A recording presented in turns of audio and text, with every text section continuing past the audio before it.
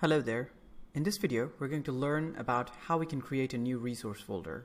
As you can see in the screen, we've got the folders and once you go to the folder menu and you right click on it, you'll see this option and then you open the new and then you can create the new resource directory. Okay, so let's quickly watch it in action.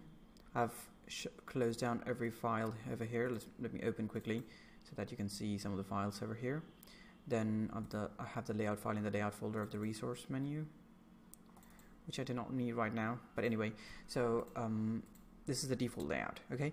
So once you go to the res folder you click on your right click okay? You do right click and then you see new.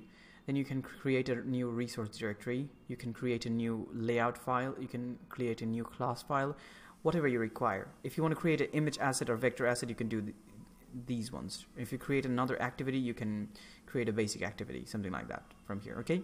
So for now, we're going to create a resource folder. We're going to write down values 2 or 1, whatever it is, and press OK. So the thing is, um, we already have one value over here, so that's not really working. So what we can do is we can go to the uh, right click and open it in the Explorer, show in Explorer, and res and you see values one over here right? So we will just delete this one because we don't really need it.